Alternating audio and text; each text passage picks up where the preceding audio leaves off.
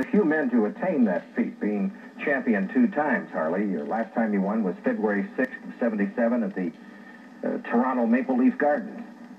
Now, since you've attained your heavyweight championship the second time, you have defended it hundreds of times and been very successful. In just a few seconds, we're going to see some of those successes.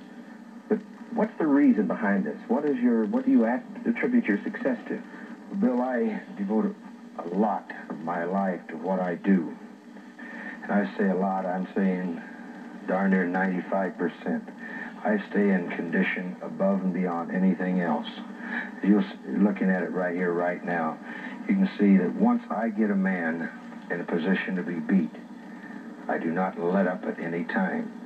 And through these clips, you'll be seeing all but one of these people beat with this move right here. Now, this is what you call the uh, vertical suplex. Vertical suplex.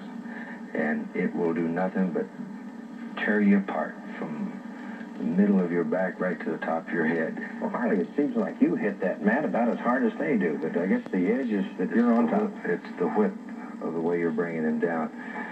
As you can see here, I don't show any mercy for any human being once we hit that ring, and I don't expect to be showing any. Here it goes again, and you can see I, they're going to show this one back in slow motion. I want you to watch this man's body when it hits the ground hmm. and the whip that comes back up through. I think it'll go back here to it. Yeah, here we go. Now watch at the absolute end of it when he's hit the mat. Watch how his body whips all the way completely through. Now, for a moment there, you are both in midair. You're not touching the uh, mat at any time either. No, but I have the advantage of having his head tucked under, and his head comes down. This particular match right here was in Tokyo, Japan. This is Japan, one of Japan's greatest wrestlers. Now, he was an Olympic uh, champion, wasn't Yes, he was in 1972 in Munich. It's got to be a thrill when they hold your arm up and again you've defended your crown. It certainly is. This particular film right here was from Melbourne, Australia. An Italian kid by the name of Rick Martel.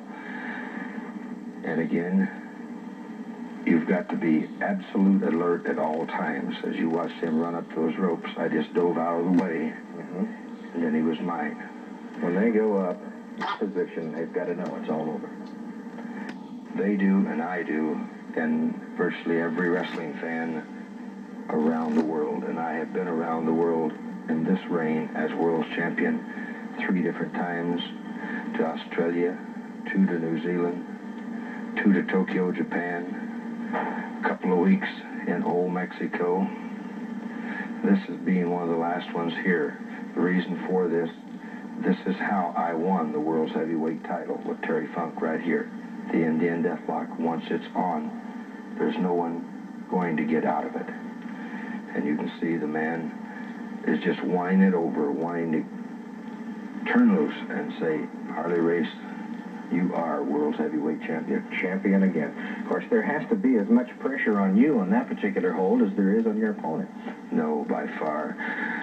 It's you've got the tightness of the lock. They've got the pain against both knees and both ankles. And if they don't give it up, you can tear a cartilage out in that amount of time. Again, that's where your conditioning comes in. Conditioning and absolute determination. Well, Harley, uh, the wrestling fad, if you want to call it a fad, the sport of wrestling has passed into the high schools and grade schools. Do you have a quick word for these aspiring young wrestlers? Well, first off, I'd say stay entirely away from your drugs of any kind, the alcohol, and keep your body in absolute top condition. That's the only way you can be a winner is be better than the other person. To do that, you got to be in better shape than him. And this right here is symbolic of being in the greatest shape of any human being on the face of the earth. It says right on top, world's heavyweight champion, and which means that I can beat any man in the world. Ladies and gentlemen, there he is, Harley Race. I'm Bill Morse for the NWA.